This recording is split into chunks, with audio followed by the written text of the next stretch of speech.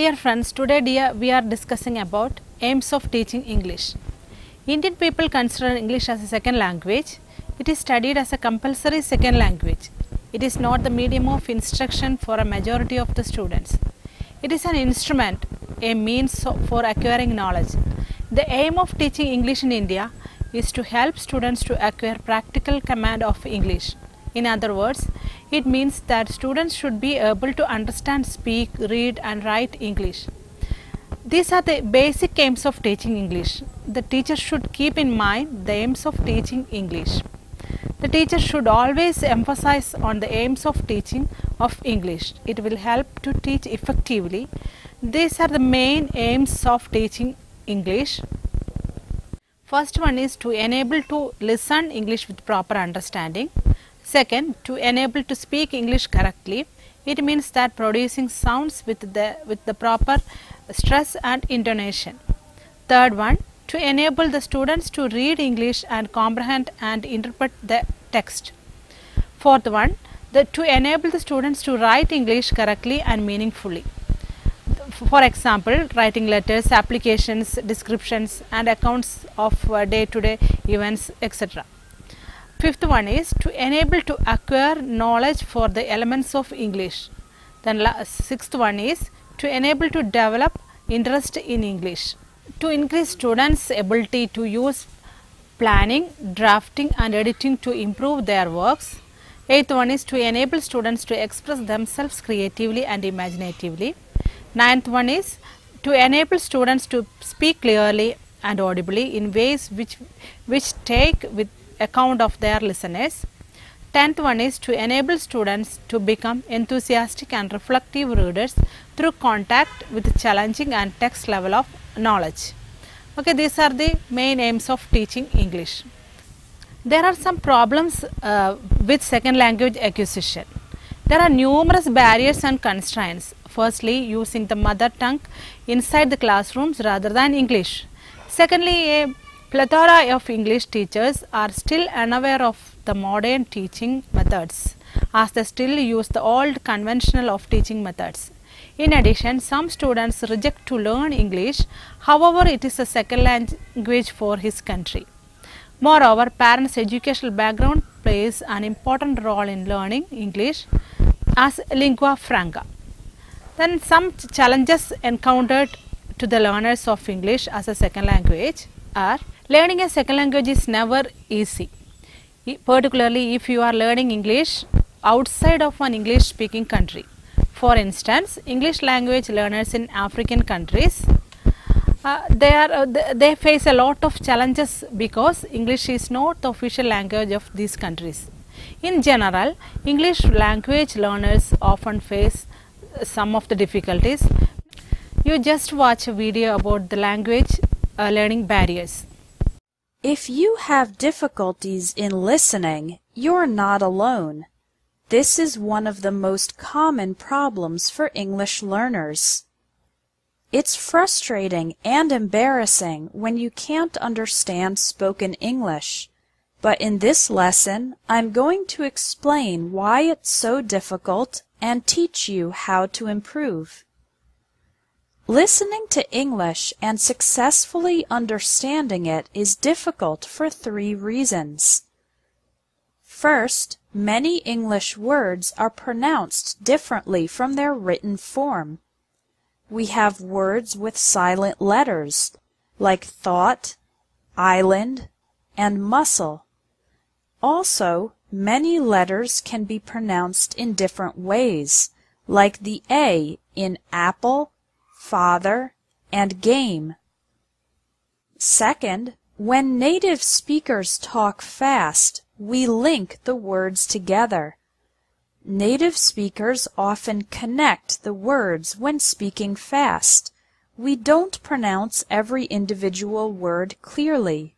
So, the question, How are you feeling today? sounds like, How are you feeling today? I'm going to have lunch sounds like, I'm gonna have lunch. This linking happens in all spoken English sentences, and it's one big reason that it's so difficult to understand. Finally, too little practice. Most students read too much and don't listen to enough English. But remember that babies and young children learn English by listening first and reading later.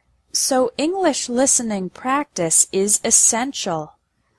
Okay, now that you know why listening is difficult, here is how to improve it. There are two ways, practicing every day and practicing the right way. Tip number one is to practice every day. Create the habit of listening to English for 15 minutes daily. Even if you're busy and you don't have much time, you can listen while driving to work or school, taking public transportation, exercising, or doing housework. Now, what should you listen to? Here are three sites with great audio and accompanying text. VOA Special English for American English News, for British English News and Lifestyle, and Elllo.org for dialogues and conversations in many different accents of English. Tip number two is to practice the right way. What does this mean?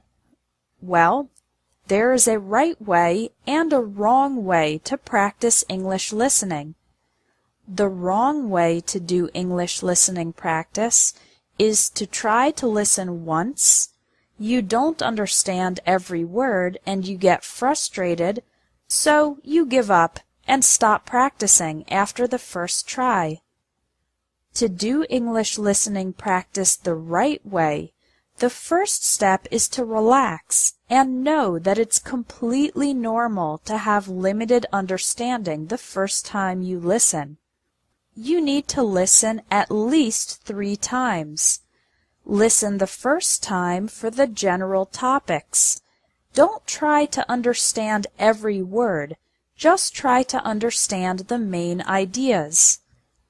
Listen again and now try to understand some more specific details. Again, remember that it's okay not to catch every word. Listen the third time while reading the transcript, the text. Now you can pay attention to the individual words and see if your previous understanding was correct. This type of listening, from more general to more specific, is the most effective way to practice and improve your English listening ability. Your action item for today is to try it. Go to one of the websites linked under this video and listen to one program three times. If you practice English listening every day for 15 minutes, and you practice the right way, listening three times to the same audio from general to specific, your understanding of spoken English is guaranteed to improve fast. In general, English language learners often face the following challenges. The first one is unqualified teachers. This is the most significant and most overlooked problem. What makes this problem to so difficult to solve is that since many communities are English English language learners, they cannot determine who is a good English teacher and who is not. This has led to a lot of problems because different teachers tell them different things.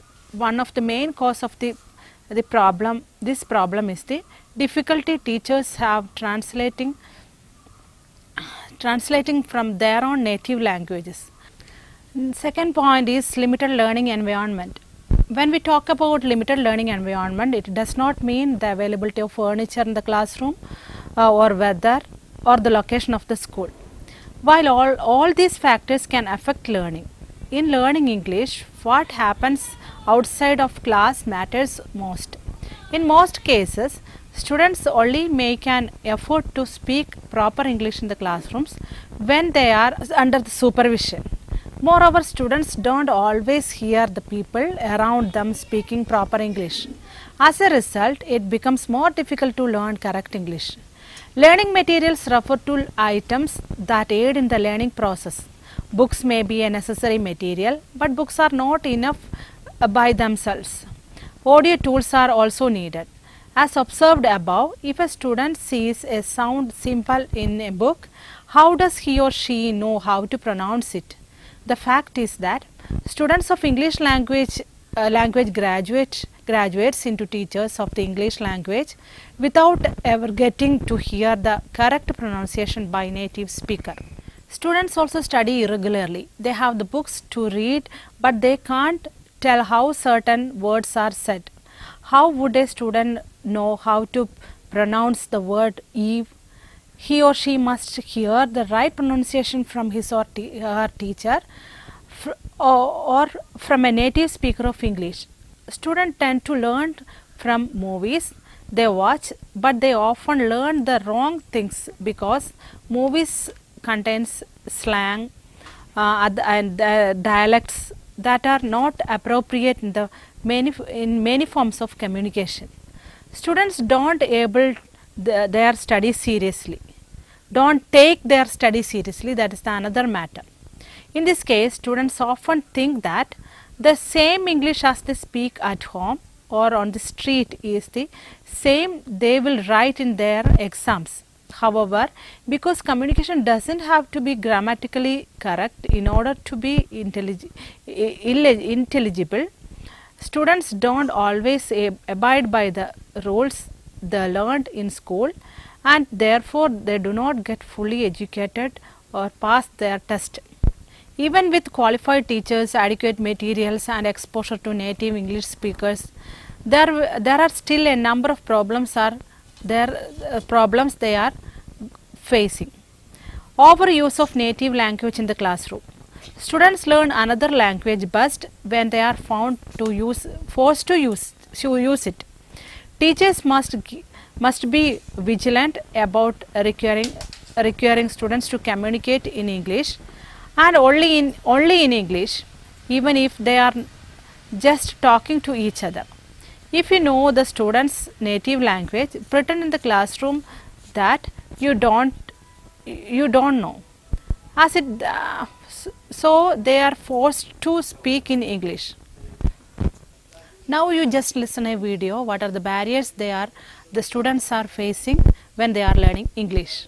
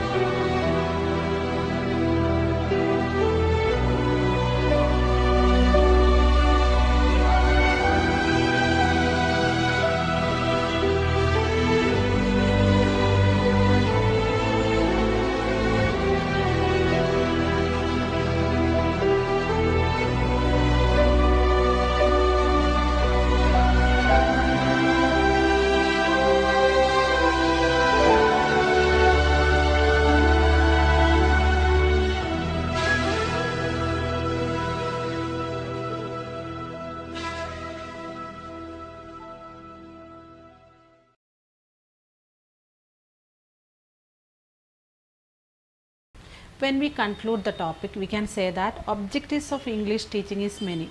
Most important is that we also give first preference to English. We have to speak English as a native English speaker.